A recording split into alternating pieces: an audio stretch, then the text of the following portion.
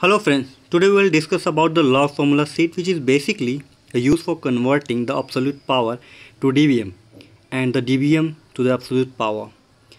Uh, so basically in optical fiber communication at one end of the fiber light is transmitted that is the Tx power and at the other end we receive the power that is Rx power which is attenuated power and very less as compared to the Tx power. We check the power level on meter and its value is calculated in dB so here we will get the absolute power by the dB value as well. So in this log formula sheet we will be used basically for converting of the following. Here you can see in tab 1 2 3 4 so these are the converting values we will discuss in this sheet. So first we will calculate the power in dBm when we, have the power P in milliwatt Suppose the transmitted power P in milliwatt, so we will get the power in dBm is 0 and you can calculate by this formula. That formula is already is in Excel sheet and you can download it from the below link.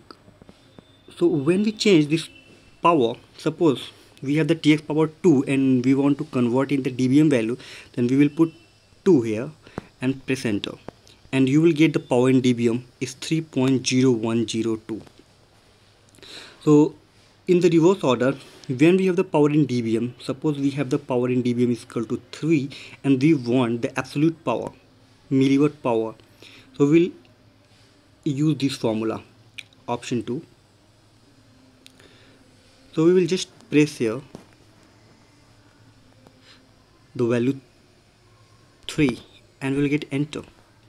And you can get the power in milliwatt so this is the sheets we can use it for converting the absolute power to the dBm and the dBm power to the absolute.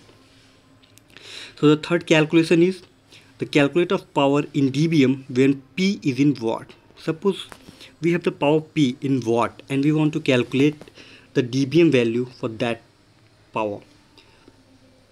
So you just put the value of 1 here and you will get the power in dBm is equal to 30 so if the power pin watt, the dBm value for that is 30 dBm. Suppose we have 2 watt power.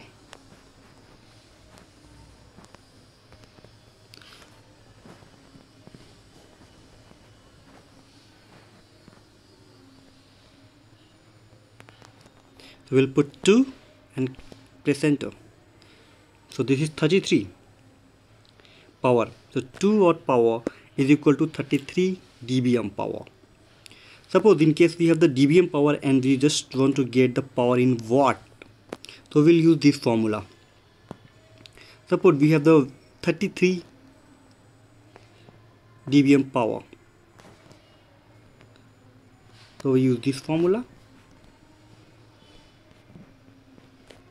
And we will get 33 and press enter and we will get the power in watt that is 1.99 with this formula we can get this. Formula number 5 the relative attenuation of a section of a fiber is expressed in dB.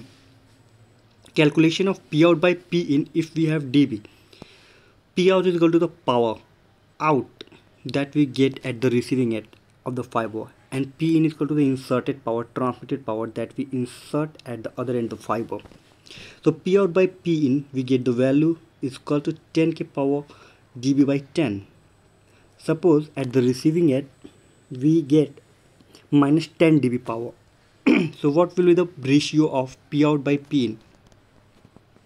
We just put 10 and get enter and we will get the 0.1 so what is the observation by this? Suppose at one end fiber tx is p in and the other end the fiber output power is p out. Suppose at the other end fiber we just receive the power minus 10 dB so the P out and P in ratio is 0.1. It means the P out is equal to 0.1 into P in. So at the output we are getting only 10% of input power. Rest of all 90% power is attenuated. So when we get at the receiver end minus 10 dB it means it is we only getting the 1% power only 10% of input power so all of the 90 power 90% power is attenuated during the propagation of the light. Suppose in case when we get the power minus 30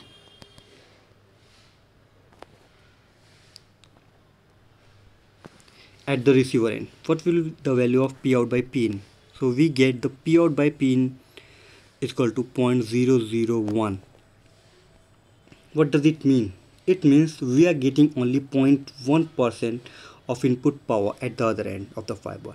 And 99.9 percent power is attenuated. So by this formula we can just get the p out by p in by the value of dB. Calculation uh, so by six uh, number six formula we can get the calculation of dB if we have P out by P in suppose we have the P out by P in is equal to 0.1 0.1 and we will get enter and we will get the power in dB is equal to minus 10 number 7 the conversion of dBm to dBW. This is the relationship between dBm and dBW. So when we want to calculate the dBW and we have the value of dBm so we can get by this relationship. Suppose I have the value of 3 dBm and we just want to get the dBW so we will get 3 here and press enter. This is minus 27 we have minus 27 dB w and we just want to get the dbm value. So we'll put it minus 27 here and press enter and we'll get the dbm power is 3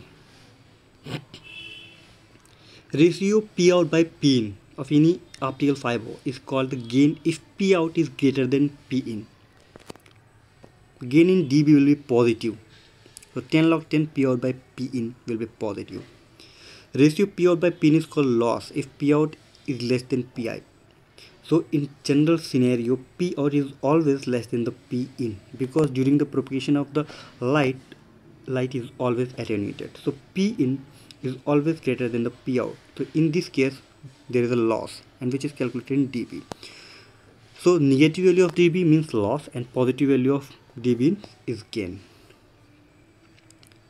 Log value of more than volt will be positive and log value of less than volt will be negative. So this is all for this log formula sheet.